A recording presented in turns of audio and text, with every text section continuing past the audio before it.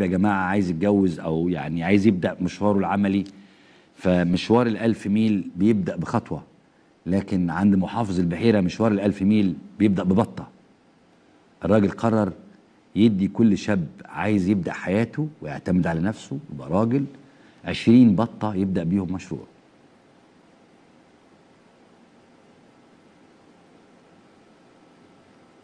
عشرين بطة. أهو والله ما بهزر. سخرية من محافظ مصري يحارب البطالة بقرض البط. تخيل؟ هو الراجل عشان بس فحوى الخبر.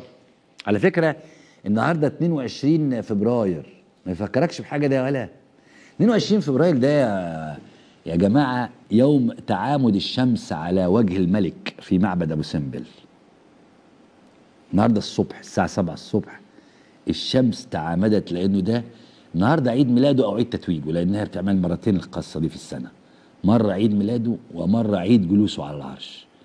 فالنهاردة كان في 5000 سايح بس موجودين بيتفرجوا على اللقطة دي. أنا بس بفكرك يعني. تخيل الهندسة المعمارية بتاع الفراعنة الشمس تشرق على وجه الملك مرة في عيد يعني بص وتمثاله فين بقى؟ في قدس الأقداس. قدس الأقداس ده فين؟ ده آخر نقطة داخل المعبد. قدس الأقداس في المعابد الفرعونية هو زي المحراب في المسجد. زي المذبح في الكنيسة. يعني آخر حتة جوه المعبد آخر آخر زخنيقة في المعبد اسمها قدس الأقداس. تلاقي التمثال بتاع الملك تشرق الشمس على وجهه مرتين في السنة. منهم مرة السنة 22 النهارده الساعة 7 الصبح. مرة في عيد جلوسه على العرش ومرة في عيد ميلاده. شوف الفراعنة ده من 3000 سنة. وشوف التقدم العلمي اللي إحنا وصلنا له. شوف التقدم العلمي.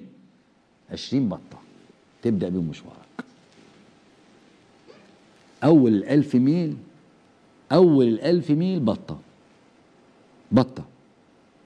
والله أنا أعرف بط لي دلع فاطمة. أهو وشرط الحصول على عربيات الخضار اللي أعلن عنها السيسي. لا بس عربيات الخضار ما عربية الخضار في يقول فيها موتور وفيها مكنة وفيها تلاجة يعني ما تمشي. إنما 20 بطة.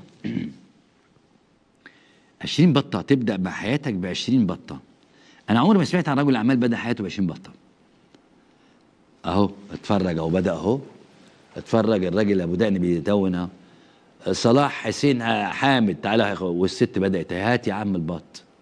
بص الراجل ماسك البط إزاي؟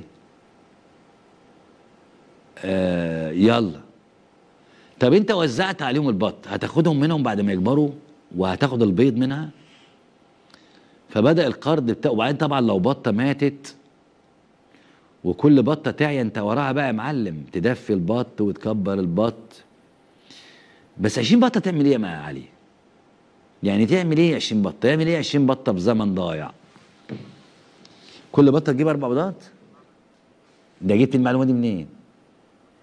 لحظة والله العظيم ما هكمل، جبت المعلومة دي منين يا علي؟ كل بطة بتجيب أربع بيضات؟ ليه؟ مش مهم بقى أنا عايز أع... آه طبعا كل بطة بتجيب أربع بيضات إزاي يا علي؟ بتظبطها إزاي الحكاية دي؟ والله أنا عايز أعرف أنت ظبطتها إزاي؟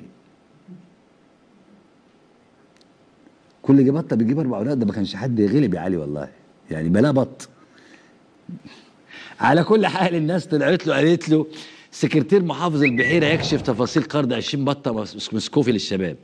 شخصيا ما باكلش البط والحمام ما فيش قروض ورق عنب يا محافظ. يجي القاهرة. إيه منعك؟ ترتبط.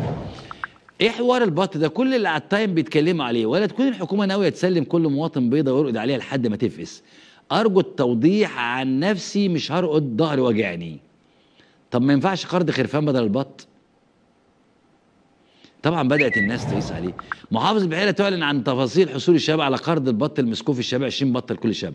والبط يقوم فرحان من النوم يغطس ويعوم وهات يا لاعب. شوف المشاريع اللي بيساعدوا بيها الشباب. لاحظ إنه القرض البط يرجع لهم تاني مش ناقصين ريشة.